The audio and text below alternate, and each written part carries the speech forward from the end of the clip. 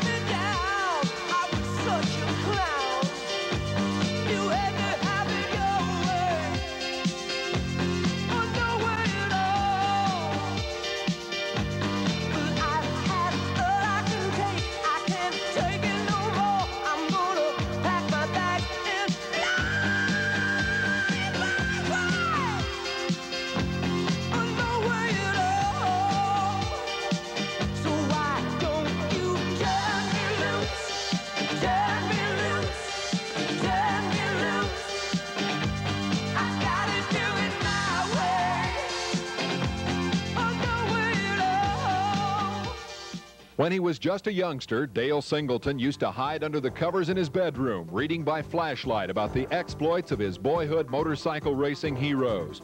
He started his own career as a teenage dirt tracker, but his dream was to win Daytona. After his first big win in 73 in that amateur race at the world's most famous speedway, Singleton went on to become a formidable threat on the American road racing scene. He also picked up the nickname Pig Farmer and a mascot named Elmer, who was to become a promotional tool destined to change Singleton's career.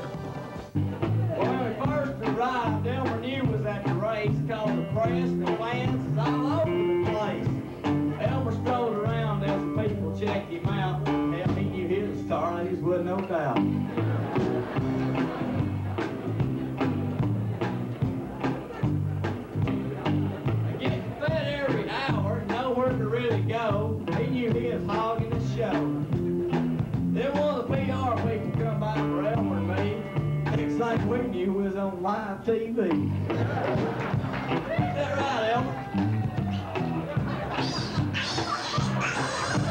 In 1979, Dale and Elmer took Daytona by storm. His home-built motorcycle was the cream of a 180 mile per hour crop, and Dale humbled the biggest factories and the most famous riders in the world, fulfilling that childhood dream of winning the Daytona 200.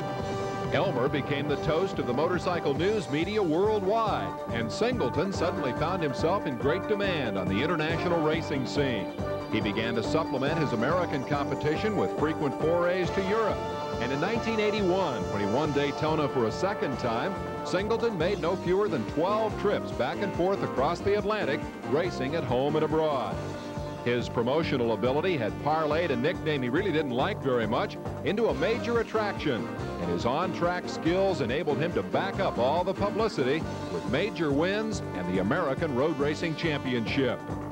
But even more impressive is the fact that Singleton did it all by himself. He sold the sponsorship necessary to fund his team, organized the incredibly complex logistics of a multinational racing program. He handled his own promotion, public relations, and he ramrodded a team that earned a reputation for looking sharp and running fast. I feel a successful racing program is a result of a, a lot of different elements. It's always been my first priority to be uh, with a well-planned, well-organized effort to carry out the business, the promotional, and, and racing aspects professionally. It also takes a lot of determination. You have to stay in shape physically and mentally right on top of it, and that's what helps maintain that drive to, to stay competitive. Throughout his climb to racing superstardom, Dale Singleton never forgot his roots or the people who helped get him there. He always finds time for the fans, especially the kids, who derive a special benefit from Singleton's success. Being able to influence kids, and especially to talk to them about safety in their own riding, uh, or just how important their educations are, that stuff it's important to me. It's very satisfying, too. I've always treasured the opportunity to, to, to kind of return something, to put something back into racing. Singleton's prowess as a motorcycle racer is beyond question. And in 1983, his charisma and expertise earned him a position as analyst for the first ever live telecast of the Daytona 200. A victory here, and you're an instant international superstar. Nobody knows that better than my friend, the two-time winner of this event, Dale Singleton. That's right, Dave. You know, winning Daytona was definitely the greatest thing that ever happened to me in my 10 years of motorcycle racing. It was the pinnacle of my career. It opened so many doors that was highlighted with international recognition. But Dale Singleton isn't considering a career in television. Instead, he set his sights on a new racing goal. His dream of winning the Daytona 200 twice fulfilled, Dale Singleton is ready for a new challenge, the high visibility world of Grand National stock car racing. My goal is to make the transition into auto racing an extremely successful one. I, I sincerely feel that's what's meant for me because racing, it's, it's just my life. There's nothing on earth I'd rather be doing. I've won the Daytona 200, which is the world's premier motorcycle race, and now I want to win the Daytona 500, the world's premier stock car race. Dale Singleton is a proven winner.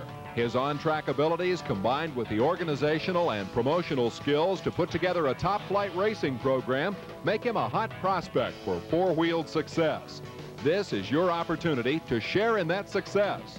Sponsorship of Dale Singleton Stock Car Racing Program will put you on a winning team. And the biggest victories are yet to come.